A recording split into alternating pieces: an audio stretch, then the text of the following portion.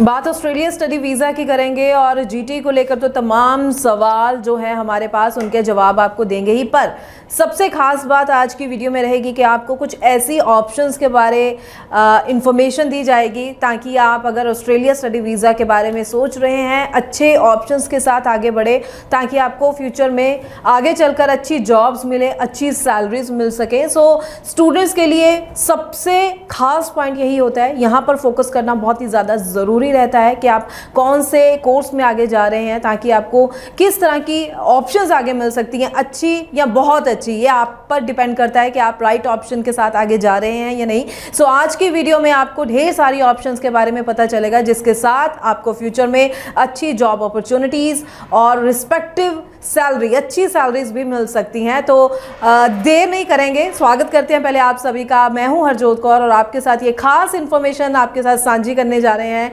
Navigators overseas से visa expert Mrs Veena Goyal ma'am हमारे साथ हैं। बहुत बहुत स्वागत है मैम नमस्कार। नमस्कार। तो सभी स्टूडेंट्स जानते हैं कि मैम का तकरीबन 26-27 साल का एक्सपीरियंस है और इस एक्सपीरियंस में ढेर सारा रिसर्च वर्क ढेर सारा काम, ढेर सारा हार्ड वर्क है और आज इसी के तहत मैम ने कुछ ऐसी ऑप्शंस आपके लिए इंफॉर्मेशन लेकर आए हैं ताकि स्टूडेंट्स जब चूज़ करते हैं कि कौन सा कोर्स मैं लूँ तो वैसा कोर्स लें जिसके साथ आपको अच्छी जॉब मिले, अच्छी सैलरी मिले।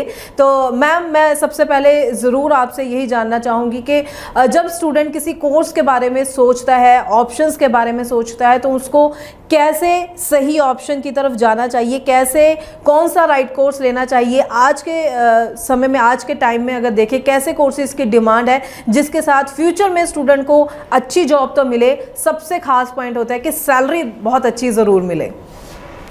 कौन सी जॉब बच्चा करे तो उसके लिए सबसे पहले इंपॉर्टेंट है कि वो कौन सा कोर्स चूज़ करे।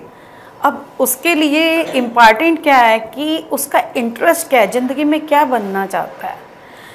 अगर मान लीजिए एक बच्चा अपनी इंटरनल सेटिस्फेक्शन चाहता है और वो टीचर बनना चाहता है तो वो आईटी में नहीं जा सकता। और एक है मॉनेटरी बेनिफिट चाहता है टेक्नोलॉजी में बहुत अच्छा वो टेक्नोलॉजी में जाएगा। इसके लिए तो मेरी हर स्टूडेंट से यही रिक्वेस्ट है कि आप अपनी इंटरनल बात सुनो, आपको क्या अच्छा लगता है, आप वही कोर्स लो। और अगर आप बहुत मेहनत करने के लिए तैयार हो कुछ अच्छे कोर्सेज लो जिसमें हाईली पेड जॉब्स हैं then it's not looking back means you are not going to look back जो आप कर रहे हो बहुत अच्छा कर रहे हो। आप मॉनिटरी बहुत अच्छे आगे बढ़ते हो। तो ये सारा उस पर डिपेंड करता है। हम शुरू करते हैं। मान लीजिए एक बच्चा है जिसने प्लस टू मेडिकल किया है या सुपर मेडिकल किया है। जो सुपर मेडिकल वाला उसके पास दोनों चॉइसेस हैं। लेकिन जो मेडिकल वाला बच्चा है तो ऑस्ट्रेलिया एक ऐसी डेस्टिनेशन है जहाँ पे आपने जो कोर्स पिछला किया है और अगला जो कर रहे हो, उन दोनों में रिलेशन होना चाहिए। तो हेल्थ वाला बच्चा या तो नर्सिंग में जाएगा, या हेल्थ रिलेटेड कोई कोर्स में जाएगा social work community welfare child care कुछ ऐसे कोर्सेज़ हैं जो मैं एक जनरल बता रही हूँ। अदरवाइज़ मान लीजिए बीएससी मेडिकल वाले बहुत कोर्स बच्चों का आता है तो वो बीएससी मेडिकल के रिलेटेड जितने भी कोर्स हैं, उसमें जा सकते हैं। कोई एग्रीकल्चर साइंस से है, कोई बायोलॉजिकल है, कोई बॉटनिकल है तो ये सारी उनकी अलग अलग फ़ील्ड हैं, जिसके रिलेटेड वो नेक्स्ट जा सकते हैं। अब जो मान लीजिए प्लस टू मेडिकल वाला है तो वो आगे बैचलर अपने हिसाब से ले सकता है। नर्सिंग में जाना है तो सेवन बैंड ईच उनको आइल्स के चाहिए। प्लस टू में sixty five percent C B S E board के बेस्ट फोर में चाहिए उनको। अब अगर नर्सिंग वाला है तो उसने नर्सिंग ले लिया। थ्री ईयर की बैचलर डिग्री करके बहुत सारी यूनिवर्सिटीज़ हैं, जिनमें उनको आगे नर्सिंग रजिस्ट्रेशन नहीं कराना वो कोर्स ऑलरेडी रजिस्टर्ड होता है नर्सिंग बॉडी के साथ। तो उनको जस्ट वहाँ जाके जैसे ही उनकी बैचलर कंप्लीट हुई तो they will start their job और उनकी जॉब जो है आलमोस्ट नाइन्टी थाउज़ेंड डॉलर के अराउंड पर एनम की आ रही है। Forty five dollar per hour almost उनको पे हो रहा है। हम्म। ये आ गया अब हेल्थ वाले बच्चों का। अब बच्चा जो है स्टूडेंट जो है, वो नॉन मेडिकल बैकग्राउंड से है, वो आईटी में जाता है। तो आईटी वाले बच्चों के भी अलग अलग हैं। कोई बच्चा डेटा साइंस में जा रहा है, कोई क्लाउड कंप्यूटिंग में जा रहा है, कोई आर्टिफिशियल इंटेलिजेंस में जा रहा है और कोई साइबर सिक्योरिटी में जा रहा है, या फिर इंजीनियरिंग में जा रहा है।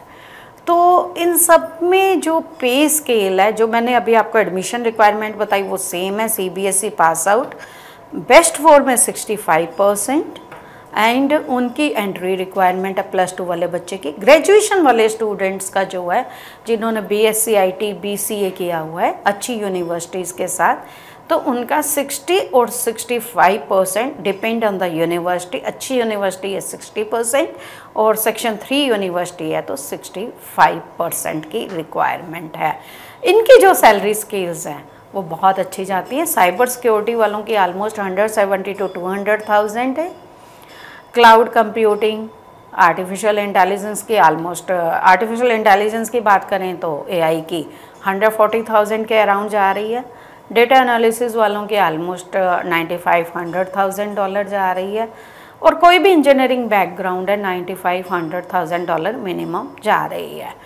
तो ये आपकी इंटरनल वॉइस पे डिपेंड करता है कि आप क्या करना चाहते हो।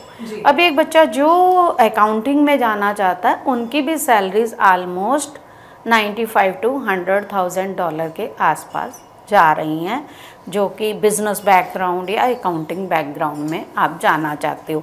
लेकिन सबसे इंपॉर्टेंट है कि आप क्या करना चाहते हो आपकी इंटरनल वॉइस क्या कह रही है पहले बहुत ध्यान से एनालिसिस करिए अपने कैरियर के लिए कि फ्यूचर में आप क्या करना चाहते हैं। आप कुछ अच्छे कोर्सेज करिए अगर आपको चाहिए कि मेरे को रिटर्न ऑन इन्वेस्टमेंट चाहिए जॉब अच्छी चाहिए सेटलमेंट चाहिए तो उनके लिए आपको अच्छे कोर्सेज करने पड़ेंगे। और मेरी हमेशा एडवाइस है। मान लीजिए आप आर्टिफिशियल इंटेलिजेंस में जा रहे हैं, जैसे साइबर सिक्योरिटी या अकाउंटिंग तो आपका जो भी तीन चार महीने का आपका एक पीरियड है जिसमें आपको फ़ाइल लगानी है, उसमें यहाँ छोटे छोटे कोर्सेज आप ज़रूर कर लीजिए, जिससे वहाँ जाके आपको स्ट्रगल ना करना पड़े।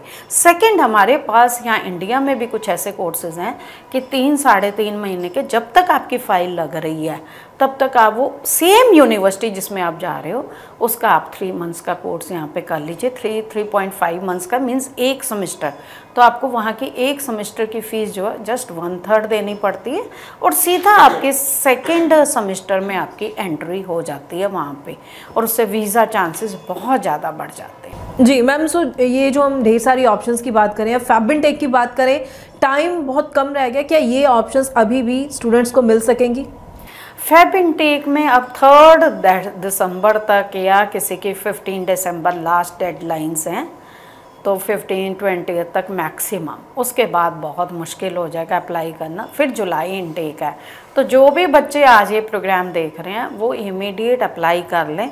मान लीजिए हमारे पास भी कॉल्स बहुत हैं वॉक इन बहुत है, कई बार टाइम नहीं लगता और स्टूडेंट की कई बार कंप्लेंट आ जाती है कि मेरे को अटेंड मेरी कॉल तो आपको अगर उस टाइम कॉल नहीं अटेंड हुई तो आप नेक्स्ट डे कर लीजिए व्हाट्सएप छोड़ दीजिए।